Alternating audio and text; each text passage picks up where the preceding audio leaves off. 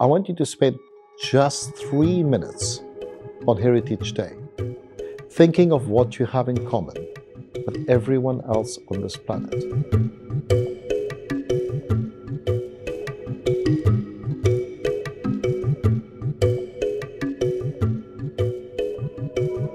Hey guys, this is Survé Speaks.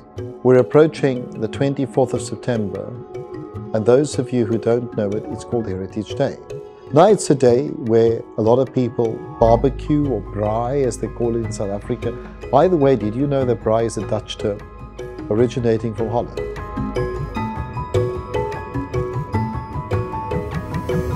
It's okay to braai, celebrate, have the occasional drink, just be with family and friends and celebrate one's heritage. But just imagine if you could celebrate your heritage in a way that actually speaks to celebrating the beauty of everyone else. So on this Heritage Day, I want you to think about a couple of things. But let me start off of what I really want you to think about. I want you to spend just three minutes on Heritage Day thinking of what you have in common with everyone else on this planet. Your friend, your neighbor, your fellow person living in the community, in your country, and on your continent. Because when you do that, you're going to realize that on Heritage Day, we celebrate what is common amongst us as opposed to what is different.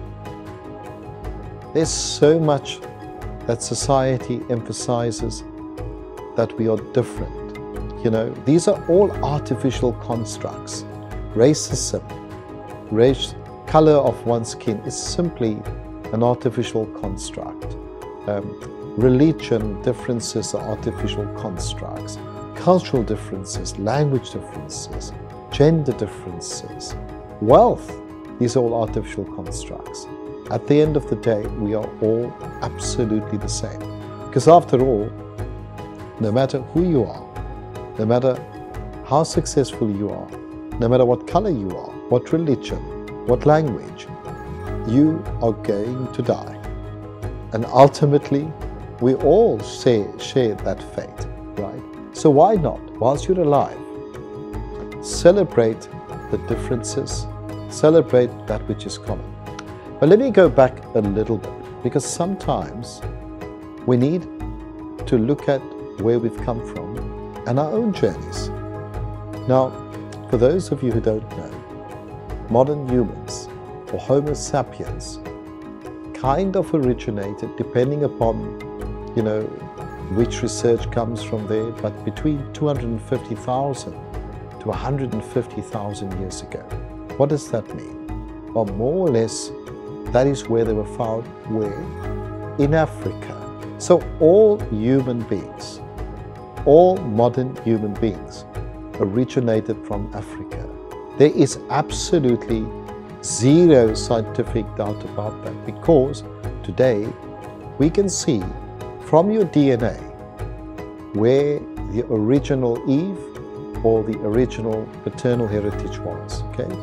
And all the DNA in the world shows that every single person in the world has an African origin. The only question is which part of Africa? Was it East Africa? Was it just South Africa, and um, who was the original Eve uh, during that time. So this is a fact. So therefore, if you understand, going back, we're all the same. You know, we have the same origins. That tells you that we have a common genetic code and that we have a common humanity. Now, you may ask the question, but hold on. People in Europe look different to the people in Africa. People in China look different to the people in Africa. People in America and South America look different. Well, there's a reason for that. About 80,000 years ago, our forefathers and mothers decided to migrate out of Africa. And they migrated because we learned a few things. We learned about stone tools, we learned how to use um, uh, you know, a little bit of language and all these kind of things. And they went up firstly towards Europe towards the Middle East, and from there they went to what we today know as, as uh, South Asia and China, and some of them went across to via North America to Central and South America. So that's where humanity in fact spread out from. So why do we look different? Well, it's very simple because at a certain point in time, you adjust to the climate. So when you live in Europe, it's a cold climate. And if you live in Africa, it's a hot climate. So you need more melanin to protect you from the heat. That's very important. Otherwise, you'll get cancers. So the genetic variation allows for that variety. So then why are the eyes different, you'd say, in China? Well, again, because at that time, the areas of China was in fact very cold. And so the epicanthic fold, which creates narrow eyes, is there to protect you from the harsh sunlight. And so that genetic variation is what actually happened and caused the South, the Asians, in fact, to have a different facial feature. But at the end of the day, if you look at the genetic code of the Eskimo, the Chinese, the African, the American, the Indian, we're exactly the same because we originated from the same mother and the same maternal line on the African continent. So when we talk about heritage, the first thing is to understand that heritage, genetically, we are all the same. There is no difference between us genetically.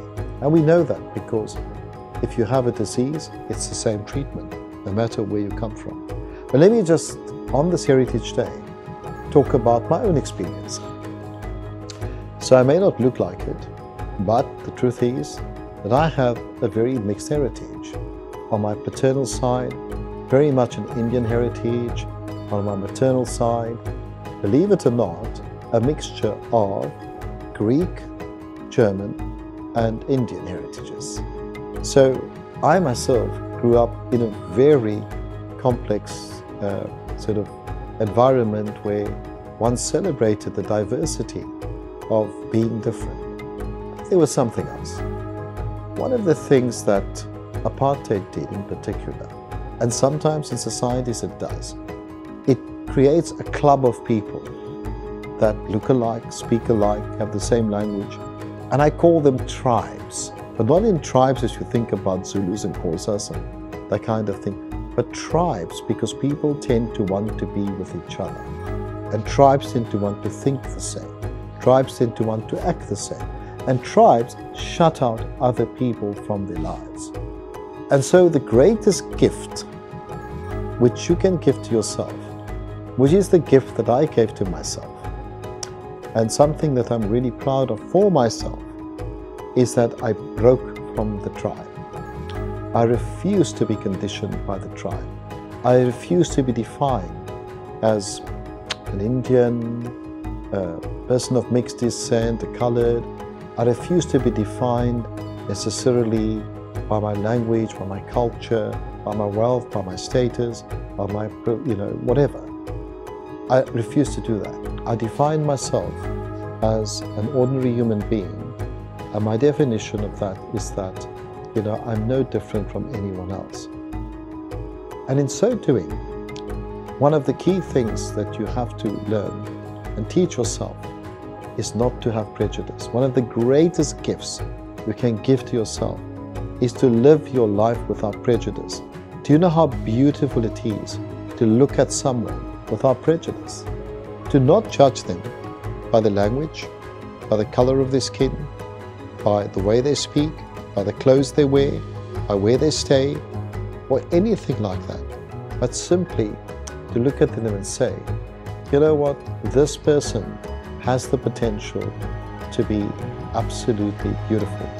So, how do I embrace that beauty, embrace that kindness, embrace that ability to be human?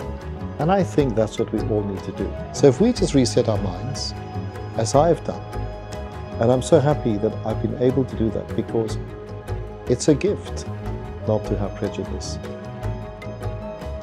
It's a gift to think that all of humanity is the same. It's a gift to come out of the tribe and to be able to say, I'm part of only one tribe, and that is the human tribe. So, there it is. On this Heritage Day, I wish you well and be brave, be courageous, be human, and just be.